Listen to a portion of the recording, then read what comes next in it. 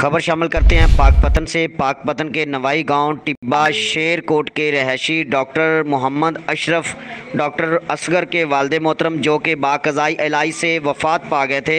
इनके असाल स्वाब के लिए कुल ख्वानी का अहतमाम किया गया, जिसमें सियासी व गैर सियासी वकला और सहाफ़ी बरदरी ने भी भरपूर शिरकत की। ख़त्म शरीफ का आगाज़ तलावत कुरान पाक से किया गया।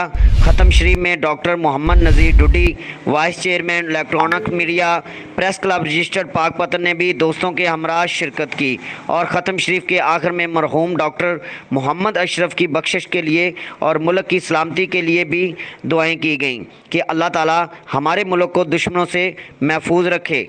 आमीन सुमा आमीन।